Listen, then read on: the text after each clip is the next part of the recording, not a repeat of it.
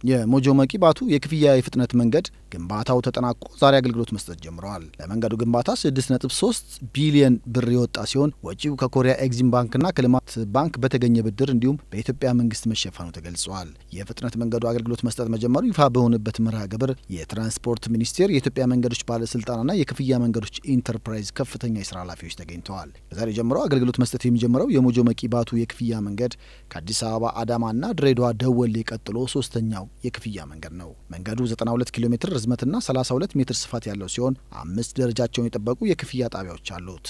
ጣቢያዎቹ ሞጆ፣ ቦቴ፣ ቆቃ፣ መቂና ባቱ መውጫ መሆናቸውም ታውቋል። የክፍያ መንገዱ የአዲስ አበባ አዳማ፣ ሞያሌ፣ ሞምባሳ የመንገድ ኮሪደር አካል ሲሆን በታላቁ የአፍሪካ የክፍያ መንገድ የሚገኙ ሀገራትን የሚያገናኝ እንደሆነም ተነግረዋል። የሞጆ መቂ ባቱ የክፍያ የፍጥነት መንገድ ግንባታ በጠቅላይ ሚኒስትር አብይ አህመድ ባለፈው ሚያዝያ ወር መመረቁ ይታወሳል።